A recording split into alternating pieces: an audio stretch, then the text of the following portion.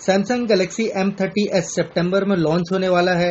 ये phone massive battery capacity के साथ में आएगा। जो लोग बैटरी से ज़्यादा परेशान रहते हैं, जो हेवी यूज़र है, उनको ये फ़ोन परेशान नहीं करेगा। इस फ़ोन को पूरा दिन हेवी यूज़ करने पर भी बैटरी खत्म नहीं होगा।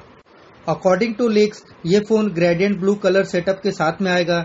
ये फ़ोन एम थर्टी का इम्प्रूव वर्सन होगा। इस फ़ोन में ट्रिपल रियर कैमरा सेटअप मिलेगा और आपको इस फ़ोन में रियर माउंटेड फिंगरप्रिंट सेंसर देखने को मिलेगा। इस फ़ोन का जो मेन सेंसर होगा, वो कंफर्म तो कर दिया गया है कि इस फ़ोन में आपको 48 मेगापिक्सल का कैमरा देखने को मिलेगा।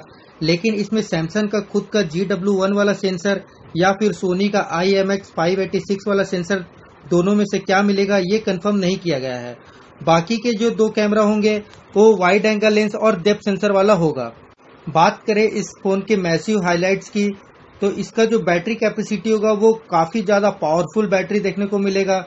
इस फ़ोन में आपको 6000 थाउज़ेंड की बैटरी देखने को मिलेगी, जो कि पूरा दिन आपका अच्छा साथ देने वाला है। M30s में आपको मिलेगा 6.4 पॉइंट इंचेस का full H D plus Infinity U display और इस फ़ोन में आपको एक्जीनोस का 9610 एसओसी मिलेगा। ये फ़ोन छह जीबी रैम एक इंटरनल मेमोरी के साथ में आएगा।